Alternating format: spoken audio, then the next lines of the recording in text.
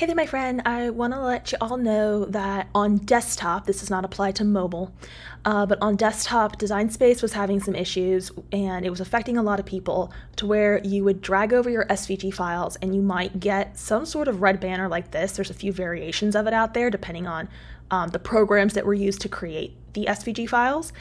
And so if you're seeing something like this, then what you need to do is go into Cricut Design Space you need to go up to your profile. So here I am on Canvas, but if you land on the home page, your profile is also available at the top right hand side.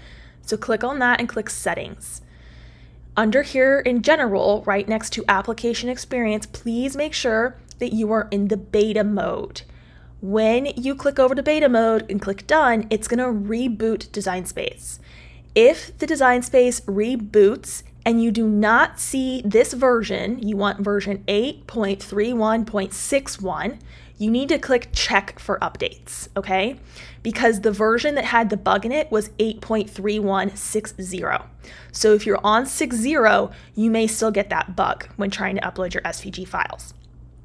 So if you are not on that, click check for updates. It'll go through the update process and you may need to restart Design Space or even your computer again just to kind of clear it all out and then it should fix the problem.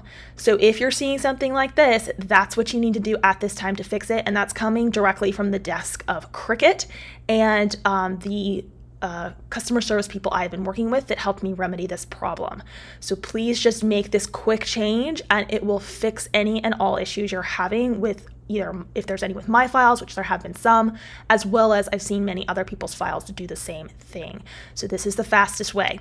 And you can now see that when we go to upload a file, just to show you, we are not having any issues and it comes right in. Same goes for those of you who might be using like my flower templates. You can see here, my file does load and there is no banner issue.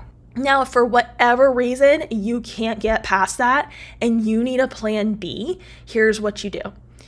You need to open up Design Space on a mobile device, iPad, uh, iPhone, Android phone, doesn't matter. Download the app. They have an app for phones and mobile devices. And once you have uploaded it to Cricut and you open again on your desktop, you will see your recent uploads appear under here on your desktop.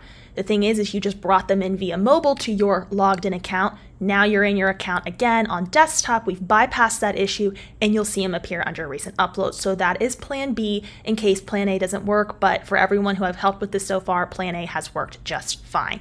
So there you go. That's your quick fix solution.